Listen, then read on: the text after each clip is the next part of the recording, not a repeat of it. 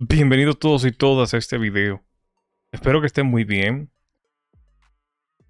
El ejército venezolano atraviesa por una de sus mayores crisis, no únicamente porque han abandonado cientos de miles de ciudadanos militares y ciudadanos que fueron entrenados civilmente, ¿verdad? Que fueron de luego instruido después de haber pasado cursos acerca de adoctrinamiento chavista, fueron luego adoctrinados militarmente y entrenados, entre comillas. Pues ahora en Venezuela hay una rebelión militar. Y yo les voy a explicar en qué consiste esta rebelión militar. Es sencillo. Sencillo eh, de la manera que se la voy a explicar, tú sabes. Pero para los chavistas para el gobierno de Venezuela no es algo tan fácil. ¿Qué ocurre? Que por muchos años es de conocer de que en Venezuela se vive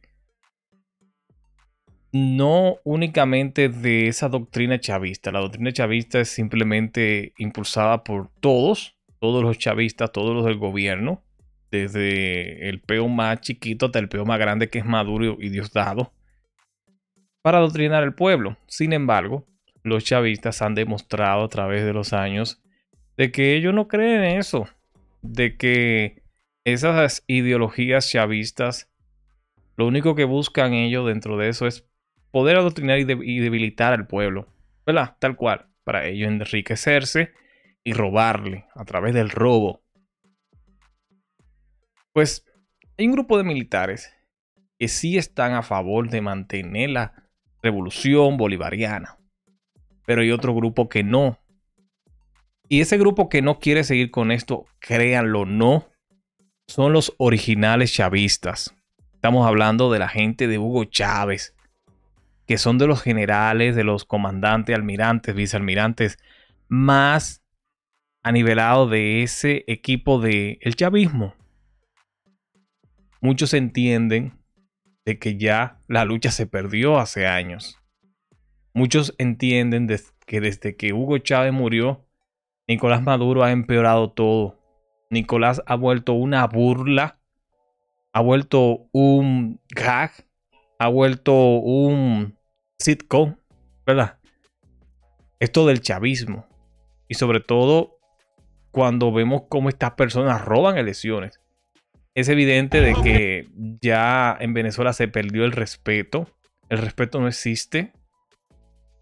En Venezuela se violan derechos tan, tan amplios como el derecho a tu volver a tu país, está establecido en la constitución venezolana. Y estamos claros de que muchísimos venezolanos se les está prohibiendo volver a su país porque ellos mismos se encargan de quitarle el derecho a renovar un pasaporte. Familia, graben esto. El dictador Nicolás Maduro está tan mal de la cabeza que él está desconfiando de los antiguos jefes del chavismo. Y hay un general cubano que está en Miraflores, que es mano derecha de Raúl Castro, un anciano de 93 años que no vale un centavo, que es un peo cao.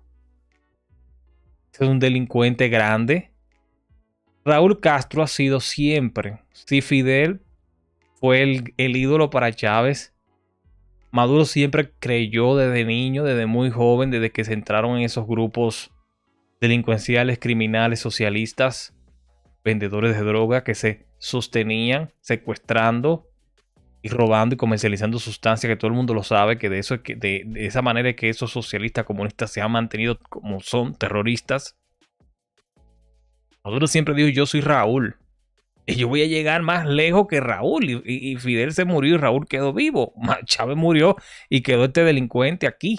Tal cual, se repite la historia, lamentablemente. ¿Qué ocurre? Que Maduro ha sacado gente de Chávez en los últimos días de manera increíble, bestial.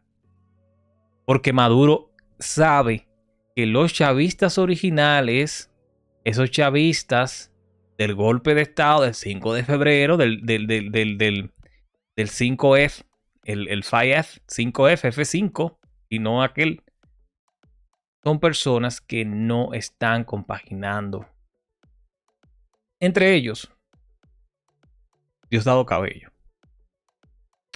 Diosdado Cabello no está, no está de acuerdo con todo esta vaina. Diosdado Cabello entiende que ya en Venezuela se debió violar los derechos de manera increíble como se hace en Cuba. Sí, familia, en Cuba se violan los derechos de una forma increíble. Diosdado no cree en democracia. Diosdado cree únicamente en que el gobierno, el poder hay que utilizarlo y romper lo que sea. Al chavismo le está saliendo todo mal. Eso lo sabemos. Vamos a escuchar a Castro, ¿verdad? En donde contó que al chavismo le está yendo mal en todo. Y una demostración de que al chavismo le está yendo mal antes de escuchar a Castro es que Maduro expulsó, le hizo un jaque mate a don Edmundo González, presidente electo de Venezuela, por cierto, ganador con un 67-70% de los votos. Le hizo un Bucaramácara para que salga de Venezuela. ¿Qué pasa? Que todo eso fue a beneficio. Al chavismo le está haciendo todo mal. Estas acusaciones de que la señora María Corina Machado está pensando irse de Venezuela. Yo creo que Maduro está invocando al diablo. Yo creo que, eh, mira, si María Corina sale de Venezuela, ese va a ser el último paso que va a dar Maduro para, para, para derrocarse. Porque María Corina va ahí con todo y armamento a Venezuela a sacarte, Maduro, abusador. Hoy les digo, la supuesta abeja reina se quedó sin abeja y está preparando maletas marca Gucci. Le llegaron de Nueva York maletas marca Gucci. Ella sabe lo que yo estoy diciendo. Y la Sayona se está preparando para irse, compadre, también. Miren. Lo estoy diciendo. Miren. Los chavistas son tan delincuentes que han hecho, se han burlado de María Corina. Han hecho hasta una meme con ella. Diosdado se encargó de eso. Diosdado tiene un grupo de memeros pagados. Pagados Sí, sabemos. Miren eso. Miren, esto, Hoy, a 60 días hemos visto en más de 200 ciudades de Venezuela al pueblo de verdad, al pueblo de carne y hueso, al enjambre que llamaron no le fueron las abejas. ¿Sabes que son malos hasta copiando? El primero que habló y no habló ahorita, habló de la teoría del enjambre fue Hugo Chávez. No tiene ni siquiera idea de lo que significa ese concepto. La raíz de eso tiene que ver en la, en la capacidad que tiene toda una comunidad en organizarse. Es bueno ser bravo durmiendo bajo 60 pies de, profundidad en un búnker allá en, que vamos para allá pronto, vamos para allá, vamos para allá, eh, cobarde, vamos para allá. En comunicarse y en actuar de manera coordinada. Los resultados se vieron. Cero movilización, cero coordinación y cero actuación. Cero. ¿Y quién hace algo en Venezuela con ustedes? Punto. Por eso te digo que rayan en lo absurdo, en lo ridículo. La Sayona que Eh, miren eso, para yo mostrarle algo. pueblo valiente, que es el pueblo de Nicolás Maduro. Ni la que se llama abeja reina apareció. ¿Y cómo va a aparecer Maduro? Si tú haces esto con el pueblo. el presidente Nicolás Maduro en Venezuela, parte del trabajo de los comunistas es empobrecer a los pueblos, ellos enriquecerse y sacar migajas para dárselo al pueblo para que el pueblo crea que ellos son, que sin ellos no hay forma. Esas ayudas sociales comunistas en Venezuela todo el mundo sabe cuál es el plan.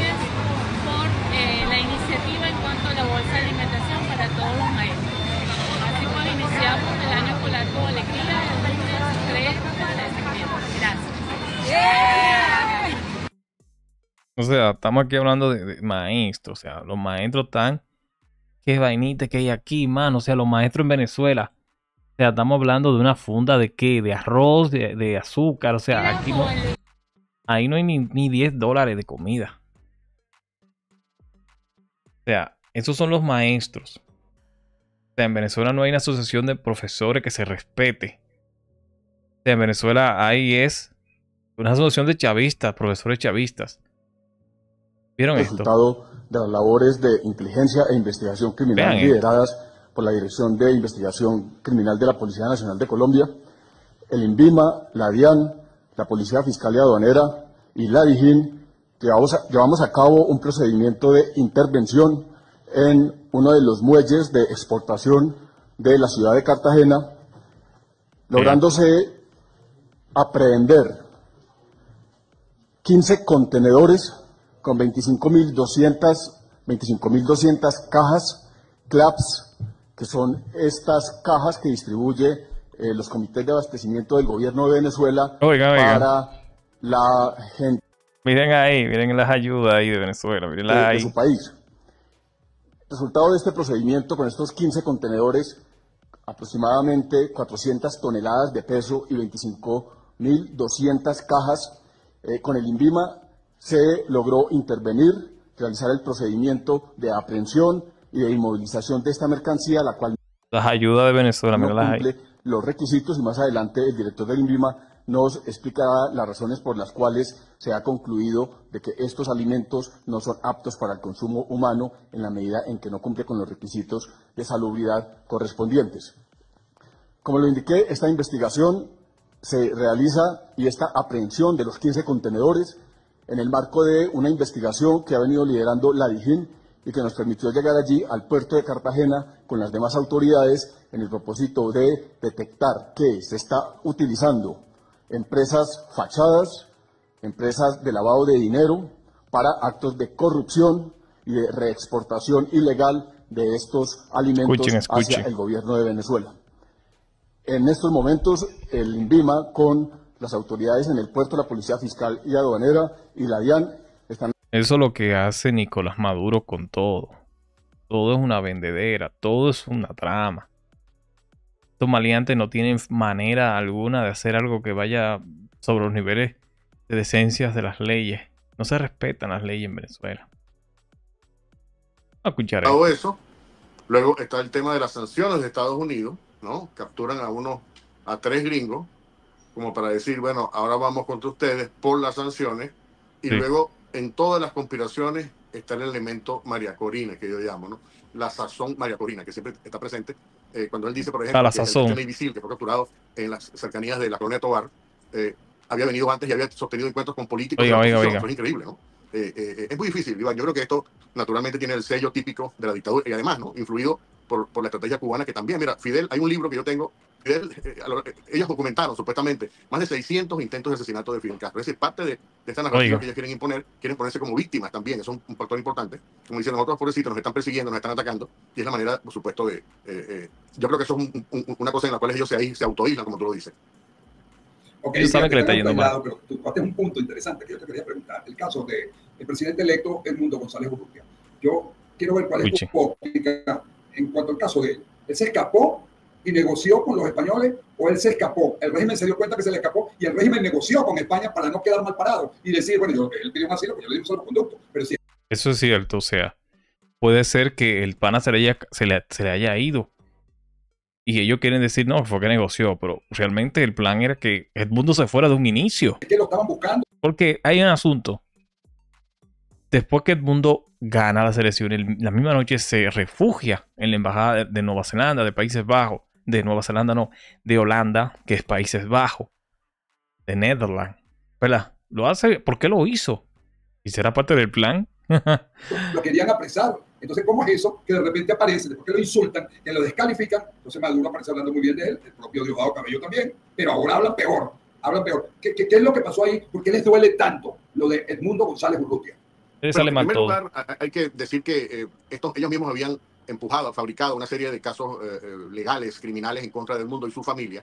Y hubo incluso, esto ha salido también a, colación, todos estos eh, detalles de, los, de, las negociaciones, hubo una amenaza directa de apresar no solamente al mundo, sino también a su familia. ¿no? Y de hecho, la información que tengo es que no permitieron que la hija que queda en Caracas viajara con una familia, sino que decidieron que no, le iban a mantener como una especie de rehén Entonces, eh, eh, por supuesto, en esa condición, porque el mundo estaba eh, bajo protección diplomática casi que desde el principio, en el proceso, en, el periodo después de las elecciones, estaba primero bajo protección como se Sí, eso es claro. Miren, pueden buscar el contenido. Al régimen le sale todo mal.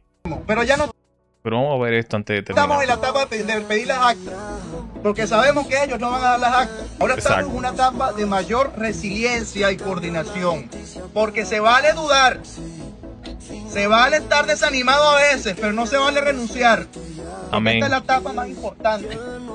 Señores, si ustedes tuvieron en su corazón y en su mente el eslogan hasta el final, les quiero decir que este es el momento de creernos que esto es hasta el final hasta el final es hasta la libertad. Hasta que Virgilio, hasta que María López, hasta que Perquía, hasta que Dígnora, hasta que el capitán, hasta que todos los presos políticos sean liberados. La libertad es, y hasta el final es, hasta que en esta corte penal donde estemos sean catalogados y juzgados como criminales de lesa humanidad y haya justicia.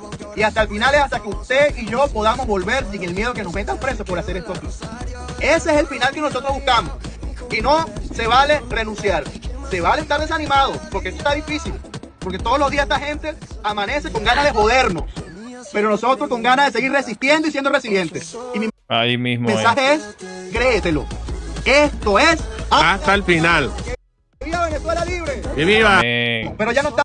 Bonito, hola. Ya saben, familia. Suscríbanse. Maduro.